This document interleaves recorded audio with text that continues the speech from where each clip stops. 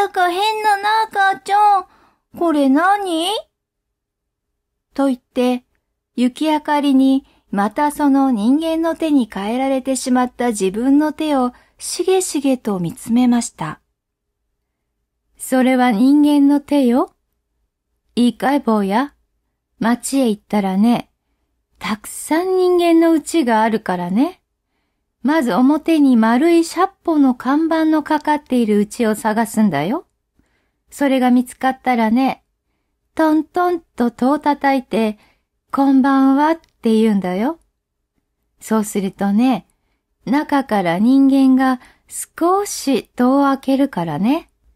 その戸の隙間からこっちの手。ほらこの人間の手を差し入れてね。この手にちょうどいい手袋ちょうだいって言うんだよ。わかったね？